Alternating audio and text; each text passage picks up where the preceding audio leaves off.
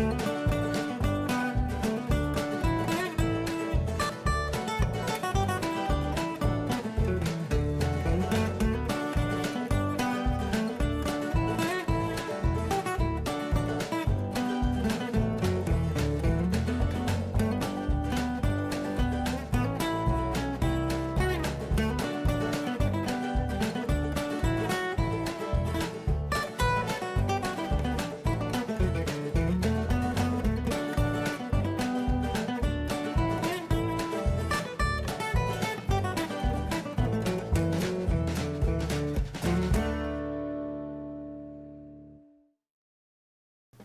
got all my work pieces milled down to the final thickness, and now I'm at the, the table saw and I need to rip cut these down to the final width.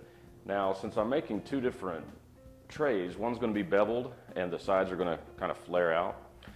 Um, I, need to, I need to make that cut here at the saw. I need to uh, go ahead and include a bevel on those side pieces. So I've got my, my blade set at a 14 degree bevel and I'm going to uh, cut the pieces for the, the bevel tray and then I'm going to readjust that blade and cut my pieces for the, the straight tray. Just go ahead and do that.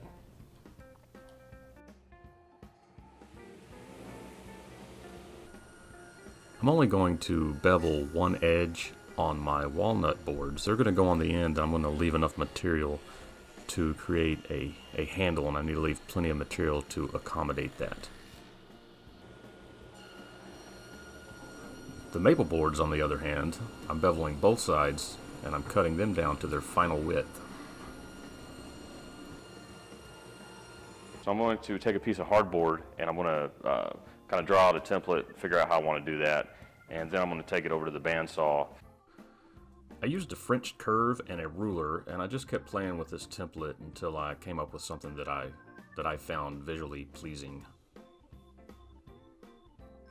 I used a Forstner bit installed on my drill press to remove most of the material on my template, and then I took it on over to the oscillating spindle sander and cleaned it up. I'm going to set my bevel gauge up to my table saw blade, and I'm going to use that angle and set up my bandsaw table to match that bevel. Now I just have to cut it out. Then I'll use my Kapex to miter both ends on my template. A little double-sided tape works great to hold the template onto the workpiece. I'm going to go ahead and cut my sides down to length. Now I've decided to make this tray about 20 inches long and I've got to put the same uh, miter on both of the sides.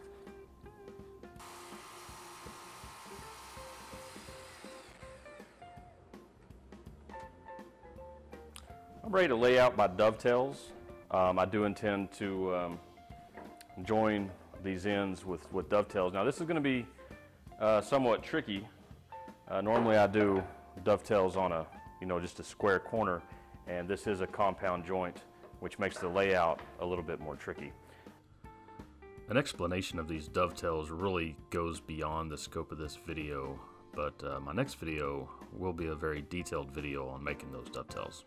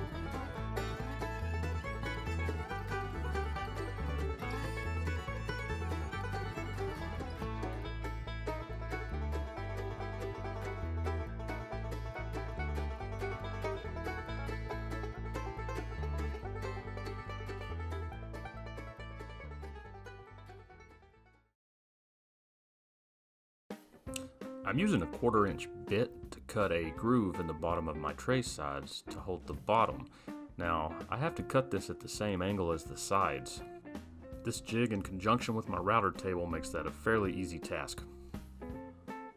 I put the groove in all four sides. I stuck the template I made earlier back on my, my workpiece and I used a bearing guided bit to cut out this recess. I'm sanding all of my pieces to 180 grit. This would be especially difficult after glue up. Looking pretty good. I'm making my tray bottom from hardboard, and once I rip cut and cross cut, I'll be ready for glue up. Glue up was a little tricky because of the beveled sides, so I took some of my cutoffs from the miter cuts I made earlier and I taped those to my clamps. This allowed me to get the clamping pressure I needed. A little bit of elbow grease with a bench plane and one thorough sanding up to 180 grit is all she will need and she will be ready for a finish. I didn't film the finish process, but I did apply one coat of tung oil and three coats of wipe-on poly. And I am quite pleased with the results. That concludes this video. Be sure to click on the subscribe button for future content, and we will see you next time.